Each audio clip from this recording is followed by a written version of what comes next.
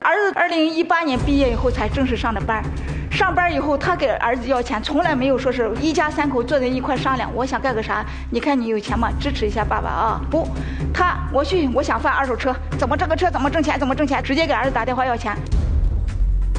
第一次给儿子要两万，要两万，儿子给我打电话，当时他我说是你爸给你要两万块钱，你给了你爸，你爸弄这个二手车也是为这个家想挣点钱，儿子给了他，你说我教唆儿子，儿子能给你吗？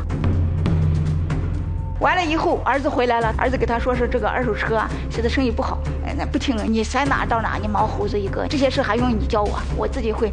又是问儿子要钱，又是为儿子怎么？你给我办几张信用卡，这不是变相的要钱吗？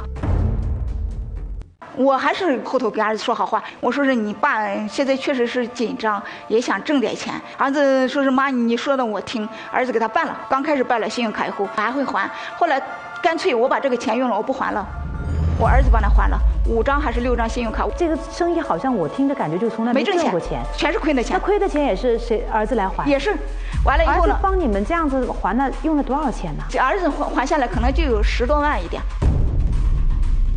二零一八年到现在也就几年的时间，儿子作为一个年轻人，他养活自己，还得帮你们去扛这个债。是我一直觉得亏欠儿子的。儿子说是每个家都要有一辈人要付出的，咱们家就让我来吧。我经常还在他跟前说，我说有这样儿子你应该是幸运。今年他给我又说，叫你儿子给我六万块钱。我说他没有，如果他没有的话，让他给我办两张大信用卡，这不是变相的和要钱有什么区别？为什么又问儿子要钱呢？你问他要钱，确实我要了。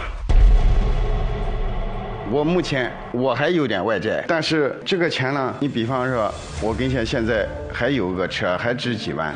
呃，再一个，他跟我吵了架后，他给信用卡打电话，呃，给我俩的信用卡额度一降，几万就降没了。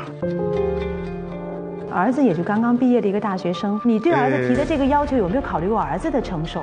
据我了解，他应该一个月挣三万多，他他有。不论是做二手车还是做什么生意，几万块钱。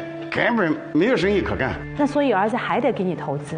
是我，我确实，因为我也觉得他有这个能力，所以我才。那你让儿子直接还这个债好了，那不是更保险吗？还债，问问题我做生意我能赚钱，我就是，我今年有一块钱，不论今年家里面怎么花，肯定明年变成一块多了。那如果能够这样的话，为什么你跟儿子还会闹翻？儿子就帮了我那几万，根本再不帮了嘛。为什么不帮你呢？就是他嘛。你前面能拿到儿子的钱，郭女士说，如果没有他，你也拿不到。没他教唆的话，肯定能行；有他教唆，不行。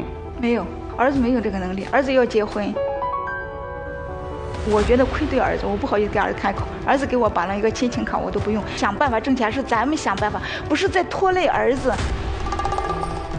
一八年毕业的一个学生，他能有多大能力挣多少钱呢？我是不想再拖累儿子。我给他给钱出了多少？拖累了？他都二十七了，该结婚了。我有二手车，我儿子他明明开我的二手车就行。雷先生，为什么十几万非要买个新车？